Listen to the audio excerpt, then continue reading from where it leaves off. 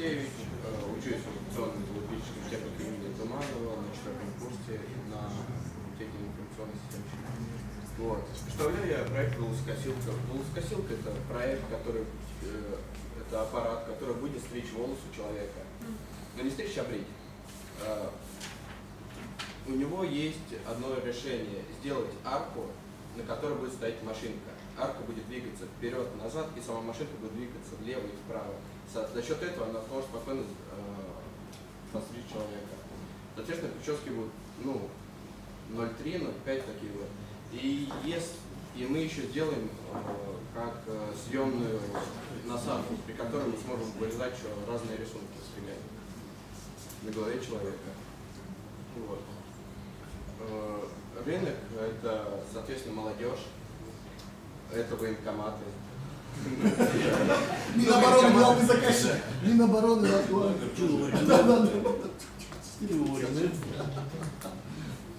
Бороды. Сама конструкция будет приблизительно стоить около 70, ты- 70 тысяч рублей. Вот. На что нам потребуется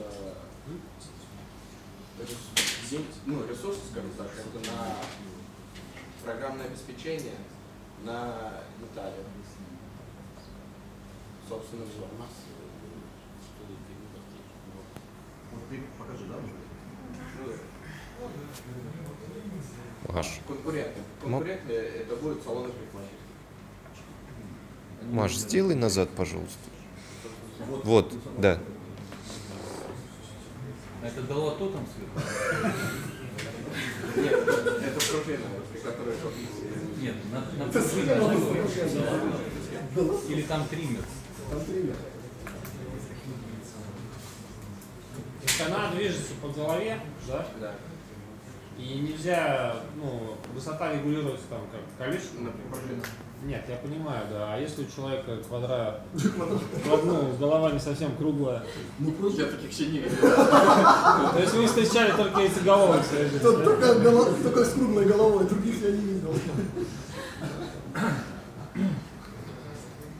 А, в чем инновационность решения? Но то, что это автоматизировано, то, что это делает не человек, а аппарат. Ну, э, вы помните, э, вот э, в боксе есть такой подбокс, стрижка. Вот э, как вы эту модель будете задавать вашим аппаратам? У него линейная функция только вот. То есть радиальная у него Нет, координата, еще сама арка будет вперед-назад двигаться, соответственно. Ну, то есть у вас еще дополнительная Да. э, вращательная появляется в опорах. Ну, А- все волосы будут одинаковой длины, получается, да? Ну, Почему? м, Показал. машин, э, насадку можно сменять. Их одинаково не будет. А вы э, можете привести аналог э, на мировом рынке? Вот парикмахерская это ни о чем. Это не аналоги. Это не автоматизированное устройство. Не, ну а вот сейчас там под шаблон бреют, знаете, там на картонку накладывают, и надписи разные. Да раньше украинцы как брились, они горшок надевали, под горшок надевали. Что, любая голова помещалась в горшок? все-таки, вот как вы это себе представляете, э, вот в чем инновация? В том, что вы особые, там, особые, особые насадки будете делать. В том, что вы э, будете автоматизировать, допустим, процесс уборки волос из головы. А это тоже инновация. В Японии, допустим, на этом делают очень большие деньги, целая серия салонов парикмахерских есть, которые занимаются тем, что они за 10 минут стригут клиента. Японцы-то они носят типовые прически, и это гигантский рынок. И в этом смысле вот то, о чем вы говорите, оно близко к их идеологии. А вот декорации, декоративная стрижка, это уже немножко другое. Тут вам как раз с предыдущим проектом надо сдружиться, потому что там робототехнические методы управления должны применяться. Нейроинтерфейс. Ну, есть, э, во-первых, это автоматизированное устройство, это не человек, тут нет э, человеческого фактора, то есть там человеку не, пок- не понравится прическа, потому что тут она будет у всех одинаковая. Ну, Вы, представляете себя в этом э, устройстве? вообще, да. Не, ну вот как идея. Значит, типовые стрижки, понятно, что их можно стричь дешево и быстро. Ну, в тюрьме, допустим. Да, там и в военкомате. То есть Да, э, конкурировать, засунул, Да, за 70 тысяч рублей, то есть конкурировать не сможет. А вот, например, стрижки, когда там графические какие-то штуки, да, вырезать, оно дорого стоит. И вот тут вот конкуренция, то, что это автоматизация, ты заказываешь любой рисунок, можешь сам нарисовать, и тебе его выстригают. А Аналогов тогда нет. Тогда лазерно оставить. Это мы с Томским университетом. Лазер... Вы можете луковиц просто убивать и все. Ну это следующий этап. Волосокосилка лазерная. Поймите правильно, компания Limline, это екатеринбургский проект, они кожу лазером обрабатывают. Нормально. А волосы, это уже давно известно, что перегрев луковиц, они приводят к изменению. То есть вы не стрижете уже, а меняете сам волос. Понимаете? Ну, мода-то меняется, а потом как его обратно? А он восстанавливается вообще. Лучше Adidas всю жизнь рекламировать. Не, ну, Так Adidas еще и заплатит. Сити парикмахерский. Золотая презентация, наверное, там. Нет, там три слайда. Ну давайте я Всего? такой вопрос Там было? задам. Ну, Может быть, не очень в тему. это последний? А, ну, понятно, смешно, прикольно, ничего сложного, быстренько придумали, нарисовали, денег дадут и слава богу, не дадут и ладно. А, ну, это может стать делом всей жизни или нет? Для вас лично. Просто мне последнюю оценку надо поставить. Ну, допустим, мы встречаемся через 10 лет, да, и вот Главный у меня есть, у меня есть проект, э, с которым я по кабинетам бегаю 10 лет уже. Да, и продолжаю бегать. И еще, может быть, еще лет 20 буду бегать. Вот, мой вот э, Замир знает, да, профессор там 38 лет бегает по кабинетам. И будет продолжать бегать. Вот с этим вы будете бегать, продолжать по кабинету, то есть вы хотите родить в этом какую-то индустрию или что-то, или просто развлечение, Ну, и, естественно, хотим. То есть вы, у вас это визуализируется как какая-то мода, какие-то суперкабинки, в которых все стригутся и так далее. То есть визуализируется. Хорошо. А у вас команда здесь есть? Вот они, здесь. Техники. А вот, Вы уже стрижетесь техникой. А вот по, по, техни- по технической реализации все-таки, то есть это вот э, как бы дуга, да, по ней ездит. А дуга поворачивается, получается, ну как вот голова, да, она должна так поворачиваться. Вперед и назад. То есть, если вот так вот угадываем, вперед и назад. А сколько будет стрижка стоить такая? 50 рублей. 50 рублей, да? Ну тоже экономику неплохо было бы слайд сделать с экономикой о том, что там 50 рублей стрижка, там с, э, 100 тысяч идет, допустим, на прототип машины, там 200 тысяч на маркетинг, на продвижение, там, соответственно, да, то есть, э, Ну, А можно, а можно как раз вот уточняющий вопрос а, на понимание.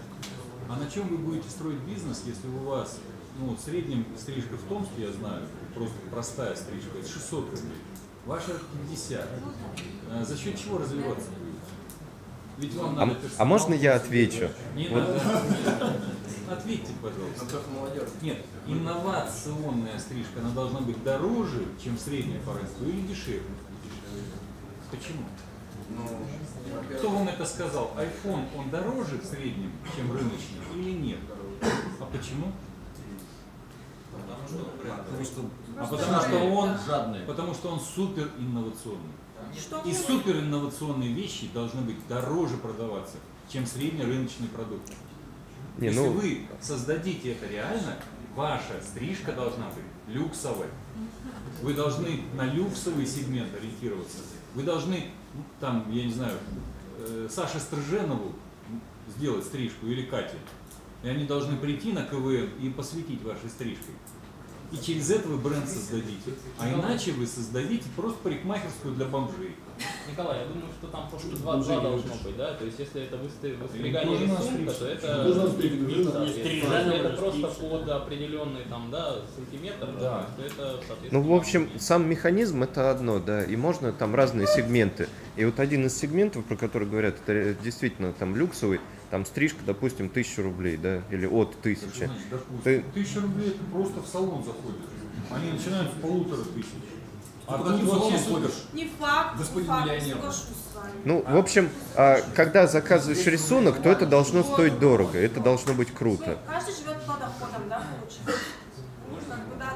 Друзья, друзья, да? Понять, вот сейчас вот тут началось обсуждение рынка, да, рынка. Я вот от вас услышал все-таки, кто э, у вас будет целевые потребители не стрижки, а прибора? Кто у вас будет его покупать и для чего, и какую такую проблему этих потребителей оно будет решать? Что, вот парикмахерской не хватает услуг для того, чтобы делать типовые стрижки, они поставят автомат, и кто будет потребителем ваших устройств? Ну, опять же, ну, парикмахерский салон, то есть туда можно будет прийти и То без есть они будут, они будут ставить такие автоматы, Да. и за 50 рублей там человек может прийти, сунуть голову туда, вместо того, чтобы нормально постричься. Так что? Ну, во-первых, это будет дешевле и... А что, у нас прям не хватает денег у людей, чтобы постричься? Ну, местами у кого-то быть не хватает. А вы слышали, что рабы ломали первые механические агрегаты, которые замещали их труд? Вы об этом слышали? Вы не думаете, что парикмахеры будут приходить и портить ваше оборудование? Парикмахер будет сидеть пить чай и общаться с клиентом. Потому что вы убиваете его заработную плату, вы его лишаете дохода. Ну здесь абсолютно правильно. Надо ставить в торговые центры, где там высокая проходимость, где нету никаких парикмахеров близко вообще. То есть у человека, человек едет, например, э, на конференцию куда-нибудь, он в метро сидит, о, господи, он в аэропорту сидит. Во-первых, вот недавно было проблема распечатать визитки. Ну, казалось бы, это не проблема, да, но вот человек забыл. И вот ему надо вот сейчас. И то же самое, блин, вот сидит два часа и надо... А почему бы не подстричься? А еще, почему людей? А есть о- огромный выбор животных Очень дорогие стрижки. и очень дорогие стрижки. Друзья, И на них сертификации не нужно. Понимаете? Вы упретесь в сертификацию, потому что это людей. А на животных почему людей? Во-вторых, почему стричь, а не делать, допустим, массаж? Panasonic, кстати, делает. Panasonic есть такой Что значит Panasonic? А вы сделаете лучше? Это будет следующий, это будет следующий проект. Друзья, по теме, если нет вопросов, я предлагаю сказать большое спасибо.